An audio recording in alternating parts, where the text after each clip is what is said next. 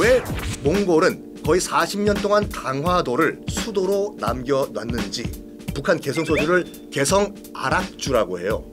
안동 소주 뜬금없이 왜 하필이면 안동에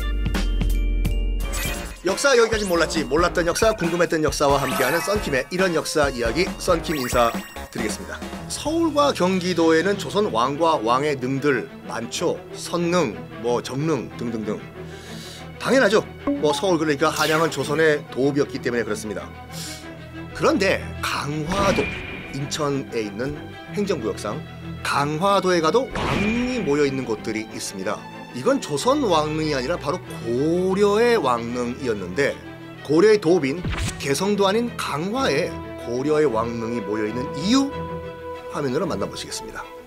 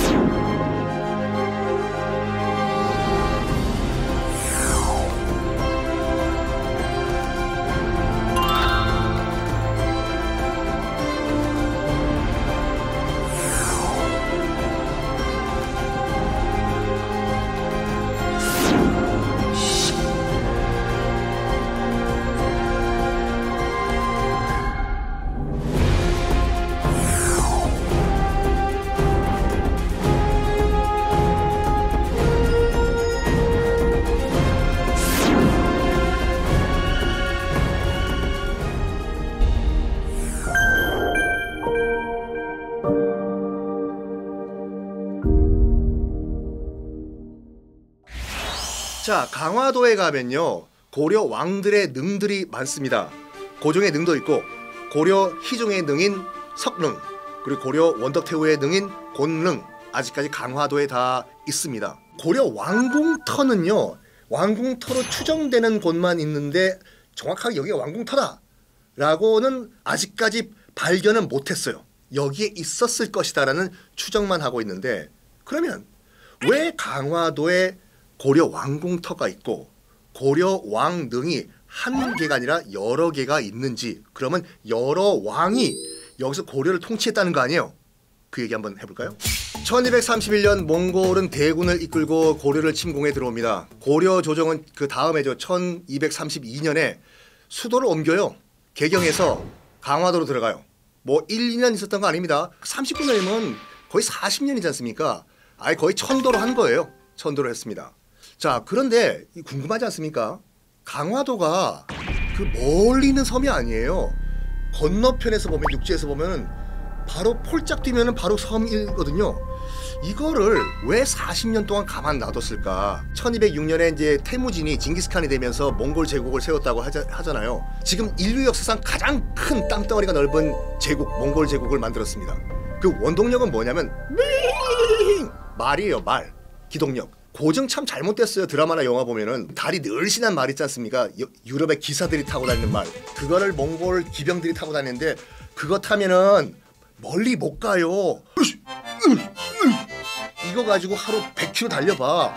뇌가 흔들릴걸요? 그래서 당신이 몽골 말을 지금 검색해 보시면 알겠지만 조랑말이에요. 조랑말. 다리 짧고 머리 크고 이게 승차감이 통통통 튀면서 하루에 120km에서 거의 200km를 달렸어요, 애들이요. 엄청나게 훈련을 시켰어요. 그 징기스칸 태무진만의 말 훈련법이 있었어요. 뭐가 있었냐면 A라는 부족에서 B라는 부족을 치고 가려면은 돌판이잖아요. 밤에 몰래 가서 숲에 이렇게 엎드려 있다가 신호 딱 떨어지면 일어나서 바로 돌치게 들어가야 돼요. 이거를 훈련시킨 거예요. 태무진 징기스칸이요. 어떻게 말이 똑같이 누워 있게. 그리고 신호 주면 다 동시에 일어나게. 이거 못하면 그냥 죽여버려요 말을. 할 수 있는 말만 남긴 거야. 그리고 먼 거리를 가려면은 물이 필요하잖아요. 말들에게 물 찾는 훈련을 시켰어. 이건 그 나와 있는 얘기이기 때문에 말씀드리는데 어떻게 말을 물 찾는 훈련을 시키냐면은 참 잔인해 잔인해요. 어미 말이 새끼 말을 낳으면은요 둘 다 묶어요. 갓난 새끼 말에게 젖을 안 줘. 한 일주일 동안요. 얘 목말라 죽으려고 하겠죠. 새끼 말이 일주일 동안. 그런 다음에 일주일 만에 풀어줘요. 어미 말을. 그럼 어미 말은 근방에 있는 본능적으로 물이란 물은 싹 다 찾으러 다녀요. 물 근처에 발견하죠. 파가지고 물을 찾아내. 그런 식으로 물 찾는 훈련까지 시켜요. 그리고 전투 식량이 또 참 어마무시했거든요. 달려가다가 야 우리 밥해 먹자가 아니라 달리면서 먹을 수 있는 전투 식량 엄청난 걸 개발했어요. 순대. 맞아요. 순대가 몽골 기마병들의 전투 식량이었어요. 양 잡아가지고 양 창자에 고기 집어넣은 다음에 바짝 말려가지고 들고 다니면서 먹으면서 달리는 거. 이런 식으로 기동력을 발휘해가지고 뭐 동쪽 서쪽 다 치고 들어가요. 서쪽으로 가면서 몽골, 중앙아시아, 유럽까지 치고 들어가고 동쪽으로 가면선 고려. 근데 왜 그러면은 이 몽골 제국군은 강화도를 남겨놨나? 여러 가지 설이 있어요. 일단은 몽골군이 유목민족이다 보니까 물을 무서워했다. 물을 못 건넜다.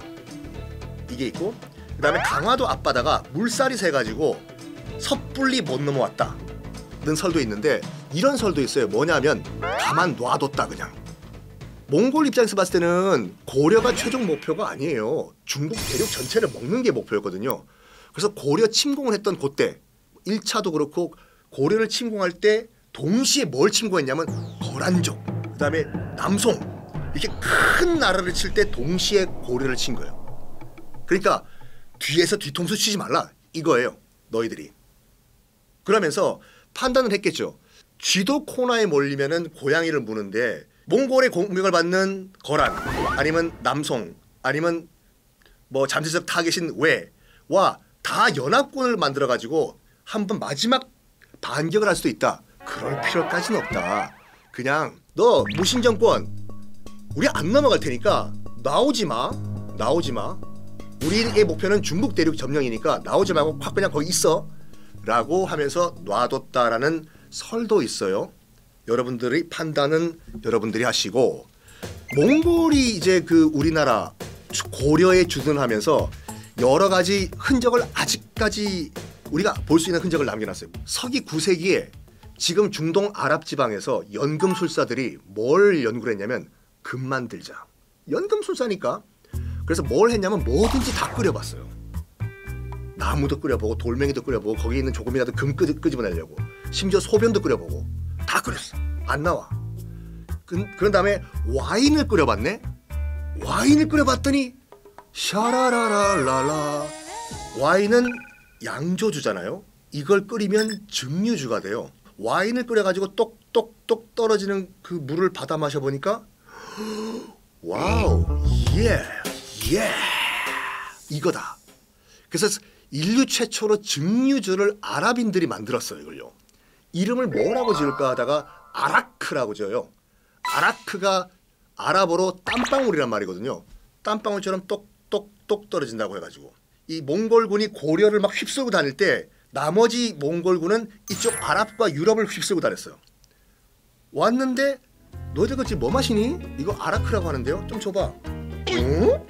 몽골 유목 민족은 술을 좋아해요. 술 마셔야 돼요. 겨울에 추우니까. 근데 그때는 마유주란 걸 마셨거든요. 몽골 기마병들이. 마유주는 말 그대로 말 젖을 이제 발효시킨 술인데 한 2도 3도밖에 안 돼요. 그러다 보니까 쉽게 부패, 빨리 썩어. 그리고 2도 3도니까 이걸 얼만큼 마셔야 취하냐고 이걸요. 근데 이 16도, 17도, 20도 가까운 증류주를 본 거잖아요. 몽골군이. 이거다. 이거 우리 가져간다.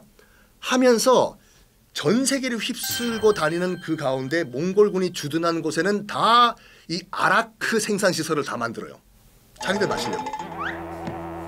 당연히 몽골군이 고려를 휩쓸고 다니던 그때도 아라크 생산 시설을 만들었겠죠. 대표적으로 만든 데가 어디냐면 개성과 안동이었어요. 음. 지금도 개성 소주 있잖아요. 북한 개성 소주를 개성 아락주라고 해요. 그 아라크에서 와가지고 아락주. 안동 소주 뜬금없이 왜 하필이면 안동에 하회탈 쓰고 발효를 했나? 아니요. 안동에 몽골군 전초 기지가 있었어요. 당연히 아라크 증류 시설이 있었겠지요. 나중에 시간이 흐른 후에 십자군이 또 중동에 쳐들어와 가지고 이 아라크를 갖고 가요.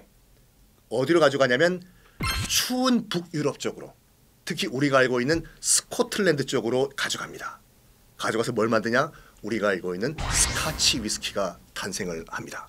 자, 몽골이 우리 역사에 남긴 여러 가지 이야기 그리고 아까 말씀드린 것이 왜 몽골은 거의 40년 동안 강화도를 그냥 터치 안 하고 수도로 남겨놨는지 과연 물을 무서워해서 그런 건지 아니면 물살이 세서 그런 건지 아니면은 최종 목표는 중국 대륙 점령이기 때문에 일단 고려를 완전히 망하게 할 필요는 없다.